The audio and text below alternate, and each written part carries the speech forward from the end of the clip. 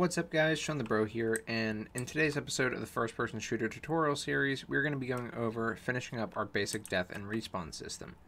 Earlier in the series, we had implemented death and respawning, which was basically once we lost all of our health, we would immediately respawn.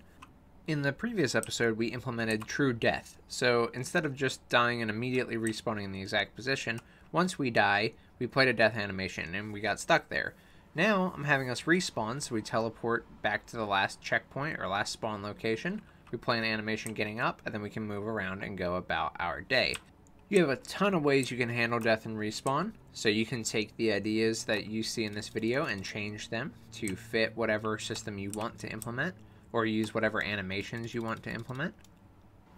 And before we get started in this episode, I'd love to give a huge shout out to my YouTube membership and Patreon members and supporters. Thank you guys for all the love and support. I'm really grateful for it, and this series is such a blast to work on, so I hope you're enjoying it as much as I am.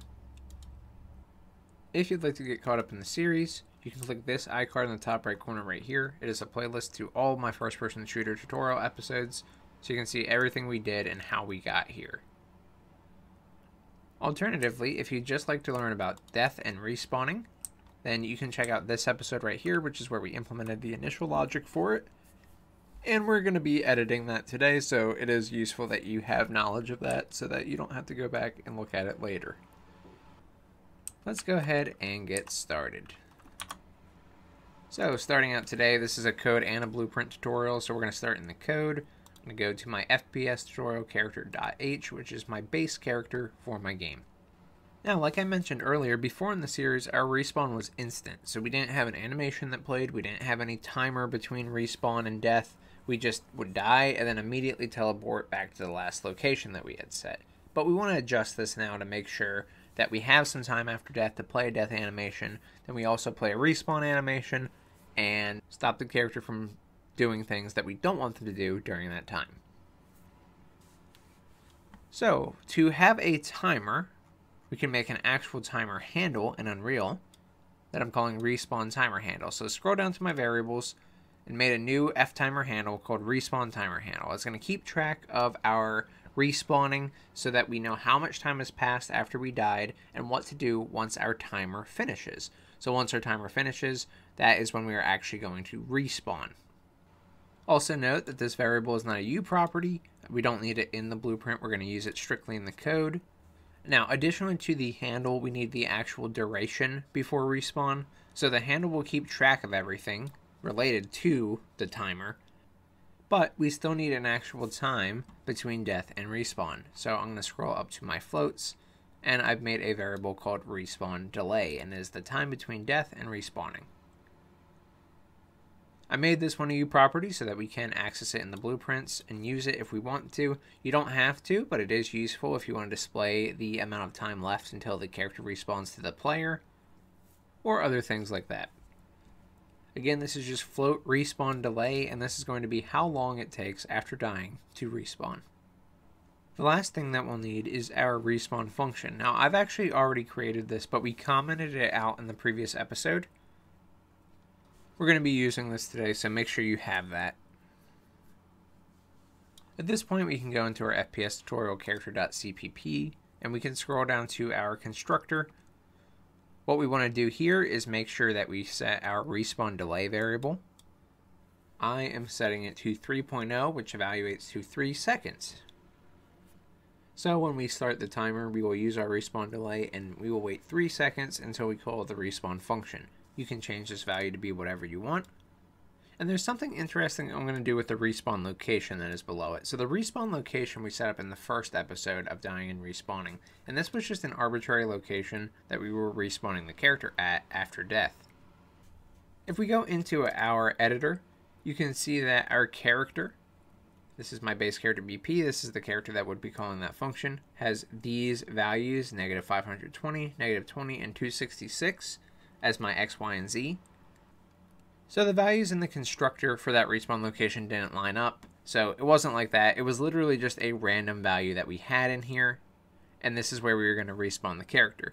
However, we may want to respawn the character at an actual checkpoint location or at an actual value that we assign in the world.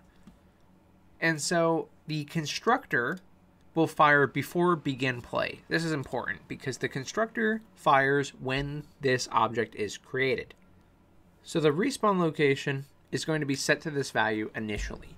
But if we wanted to grab an object in the world, the constructor would be too early. Begin play is after the character has spawned and actually been placed where they are in the scene, and we won't have that in the constructor. So if we want to set an actual checkpoint, say based on the location that we're currently at in the world, we'll have to do that in the begin play function. So it's fine to have a default respawn location if you want. I'm going to actually zero mine out.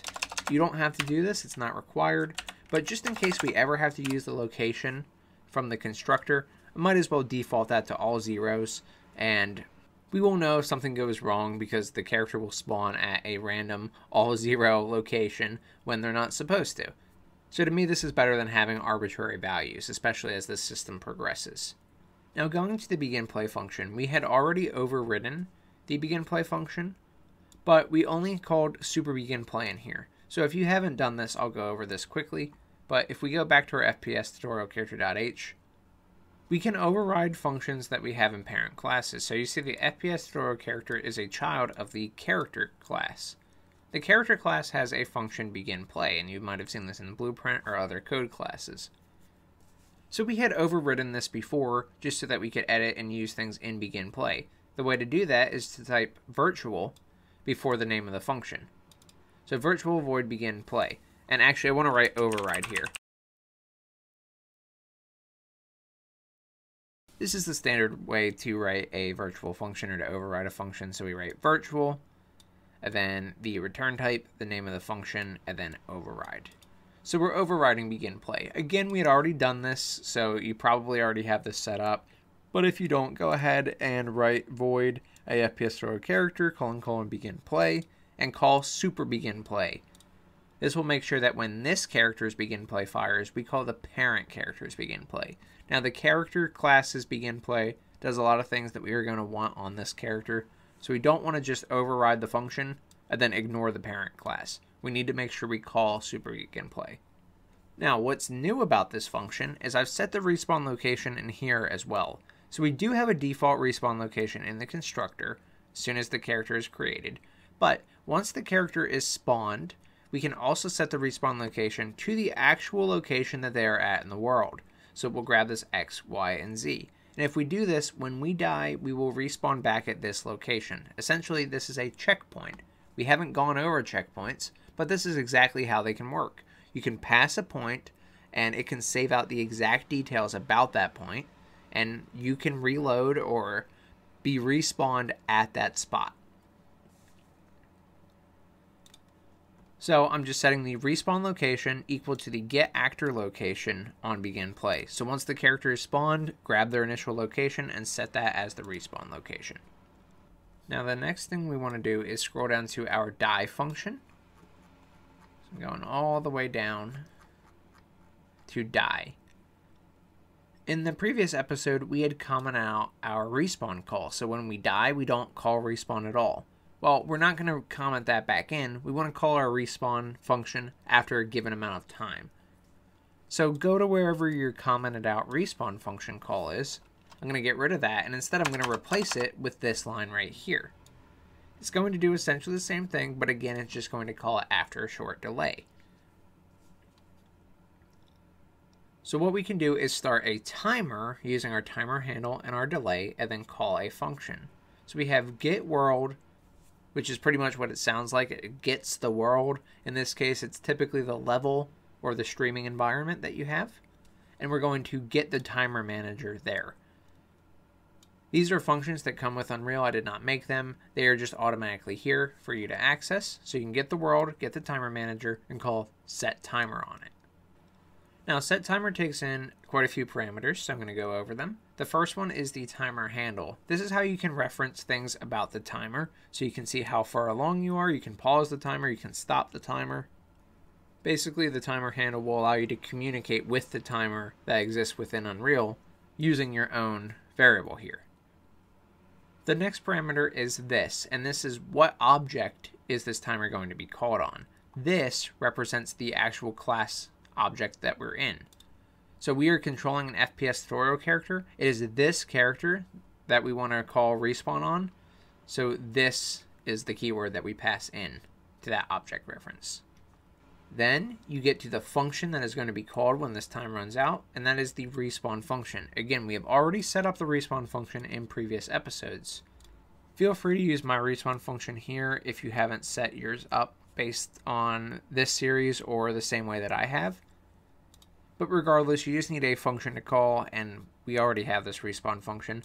But you do have to write it out like this, because the timer class doesn't automatically know that it's going to be from this class because you could actually call a function from a different class. So you have to call it like this, ampersand, the name of the class, colon, colon, and then the function name. The fourth parameter here is the amount of time that the timer will run until it is complete. And once it's complete, it will call this function. So we need to pass in our respawn delay for that parameter. And the last parameter is if this timer will automatically repeat once it finishes. So if we wanted to do something continuously every three seconds, we would set this to be true. But we don't want that. We want the respawn to happen once the character dies, and that's it. We don't want to keep respawning them after that, so we're going to set false for that parameter. Now, after three seconds, we'll call the respawn function. Again, I've already set up the respawn function. Nothing even needs to change about it. But I do want to change one little thing just because for me, I think it makes more sense and I'm going to switch these two lines, the health equals 1.0 and the set actor location. Now, how I did that is by pressing Alt and an arrow key. You can actually move lines of code up and down in Visual Studio. Not required that you know that, but it's a helpful shortcut that you can do. But otherwise, just copy or paste or rewrite the lines. I just want to set the actor location before we set the health to 1.0. It's going to happen so quickly you can't even tell but from a logical standpoint, I would like the character to be moved to the location before we start refilling their health and doing other things related to the respawn. Alright, now at this point we are done in the code and we can go into the blueprint. We don't have to do anything in any standard blueprints, we only have to do something in the animation blueprint for today's episode. So open up the anim BP for your character, and here is mine. In the previous episode, I set up a death animation, and I had all of these transition rules going to the death state or the dead state.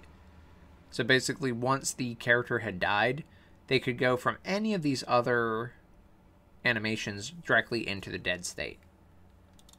In here, we had this Ybot death animation. Ybot's the character name, so YB death. And we were already playing that.